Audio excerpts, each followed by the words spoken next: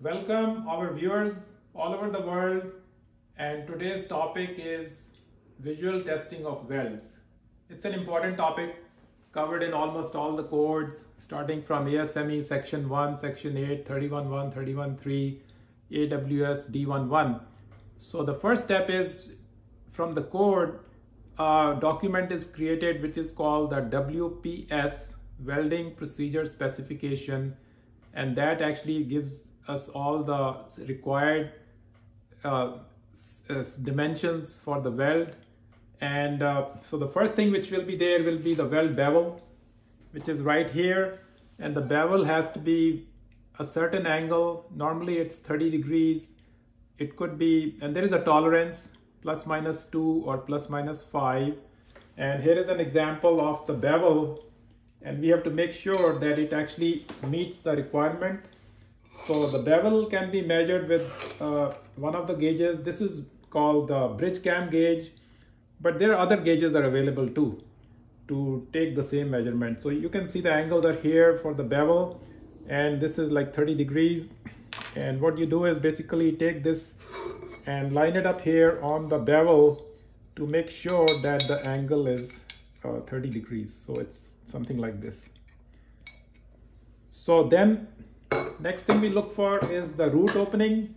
And normally the root opening will be zero with a maximum allowed root opening of maybe 1 32nd of an inch or 1 16th of an inch. And th this can be simply measured with a, with a regular ruler. The next measurement is the misalignment which is right here and uh, in this case we you can see the, that these two plates are not aligned and uh, we will be given the maximum allowed misalignment and for this one we can use the same gauge the bridge cam bridge cam gauge and just simply put it like this and take the measurement on the top here on the the ruler there. So this is the misalignment measurement. The next measurement is the reinforcement of the weld. So this is the reinforcement and there will be a maximum allowed reinforcement for example 332nd of an inch and uh, it should be between 0 to that number. It should not exceed the maximum allowed reinforcement. And you can see if you compare uh, weld here, uh, this one has kind of normal reinforcement. And as soon as we go to this, this weld, this is excessive reinforcement. We call it excessive reinforcement. It exceeds the maximum allowed reinforcement and if you want to take a measurement on this to document it can be taken with one of these gauges this is called the the cambridge gauge and again you put it like this and take the measurement from here with this gauge called the cambridge gauge then this is uh, concavity or underfill the weld there is not enough weld material so this can be checked easily with a ruler and you will see a air gap there. So this is not going to be acceptable. Underfill con concavity. Now we will go to the fillet welds which are a little bit more complex and in the fillet welds we actually take a measurement of the size of the weld which is given there and this size uh, has to be has to meet the minimum requirements and it should not be less than the specified size it normally can be more but not less than that so again we we can measure the size with this the bridge cam gauge by just putting it here lining it up and and you can see the arrow there so we put it here and like that and take the size measurement and then read it on this side. It can be read in inches or in metric. So that covers the size of the weld and uh, then the, the throat which is right here, has to be more than the theoretical throat. This line rep represents the theoretical throat and this is the actual uh, convexity here and it should the throat should not be less than the theoretical throat. So there are two ways of doing it. Uh, one of them is a go-no-go -go gauge which is uh, right here. So if this weld is 5 16th inch you can actually take the measurement of the weld size also with this gauge by putting it here. And as far as the throat is concerned you just flip it.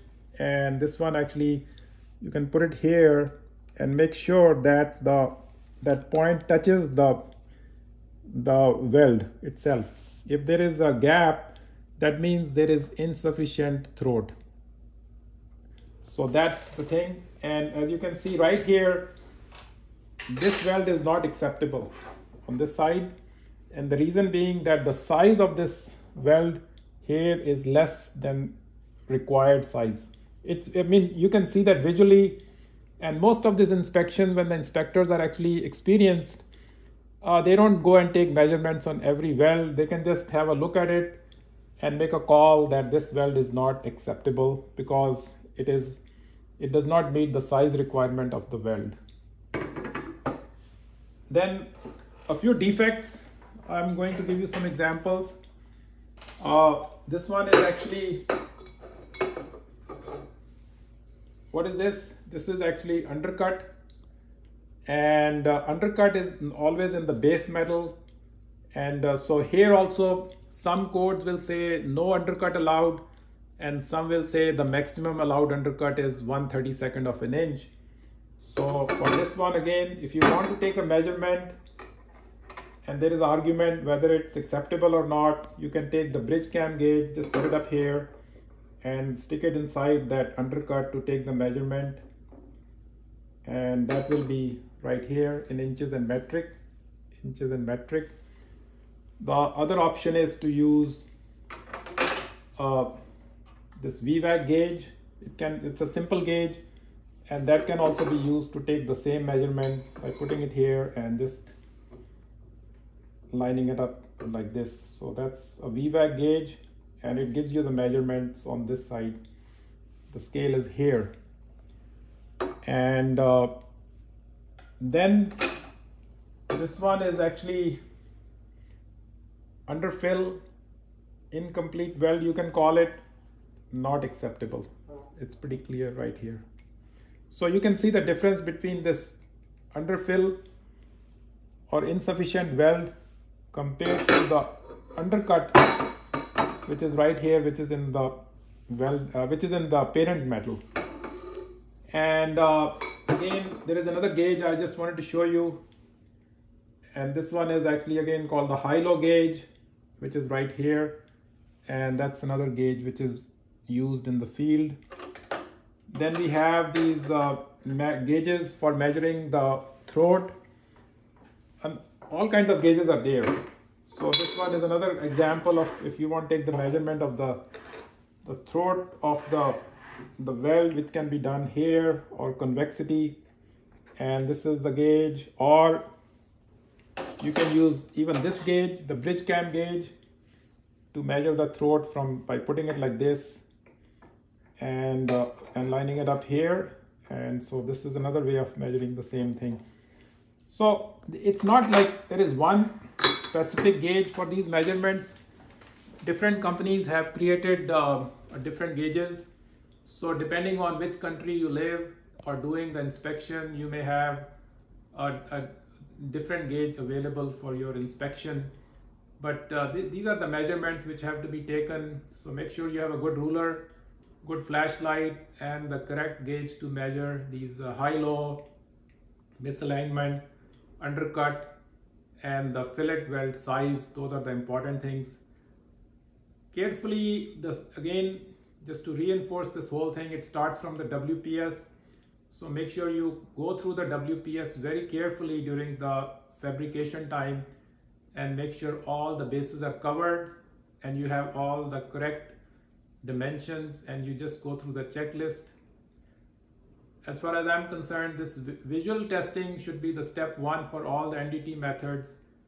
and because it's it, it kind of gives you a flavor for going forward into the other NDT methods. So thank you very much and uh, I hope you like this lecture. It's a little complex but it, it needs to be understood very well. Thank you.